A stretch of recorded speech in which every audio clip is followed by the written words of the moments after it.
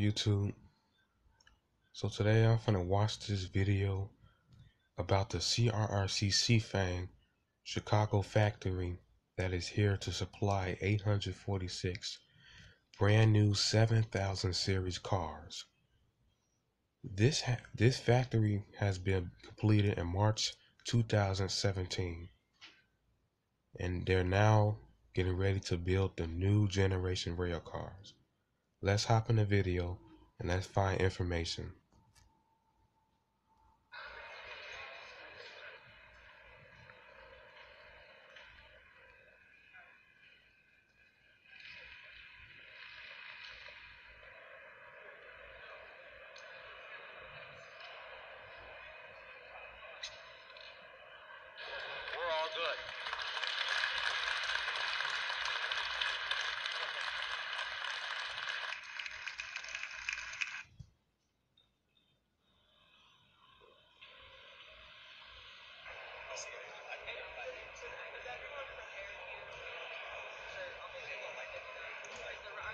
I believe once we go to China and learn how to build these rail cars, we come back here and do a test of like 10 cars, and then they test them out, and then they ramp up production. To do a massive hire.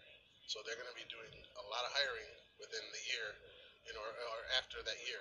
So the neighborhood, you know, this residence should have priority, you know, for hiring. So it's it's going to bring a lot of jobs. I mean, and since they're here, other companies are coming as well, other bigger companies. So, you know, the economy is going to start growing and people are going to get jobs. Uh, with CRRC being here, it's gonna uh, uplift the community by bringing so many so many jobs here, uh, not just to Chicago, but to Chicagoland area.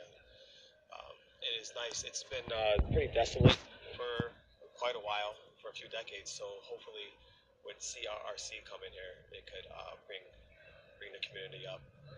Oh, my expectation for my life in China. Uh, it would be to see myself grow within the CRRC uh, community. So this is all. Well, thank you for watching and please subscribe to my video. And I appreciate you watching. Thanks for watching. See you next time.